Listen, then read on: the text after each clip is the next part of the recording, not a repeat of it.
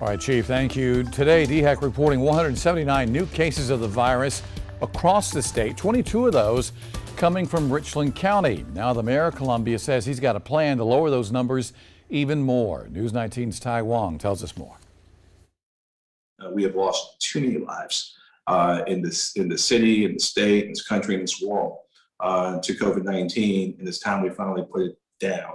In an effort to prevent COVID 19, the City of Columbia's Mayor Steve Benjamin is partnering with Richland County, Prisma Health, and Eau Claire Health Cooperative to launch a campaign to get more South Carolinians vaccinated. Mayor Benjamin says this campaign is not like others in the past. We have a wonderful system uh, that allows us even to do reverse 911 calls. Uh, so we're able to call people directly and actually survey them. Have you been Have you been vaccinated? Um, uh, yes, no. Uh, are, are you interested in receiving a shot? Um, um, yes, no. Uh, can we bring you a shot? So what, what we're trying to do is, is really do some real micro targeting. He says there are some people who still don't have access to the vaccine. During the City Council's monthly meeting, the city's emergency management director says there are currently over 3.5 million South Carolina residents vaccinated.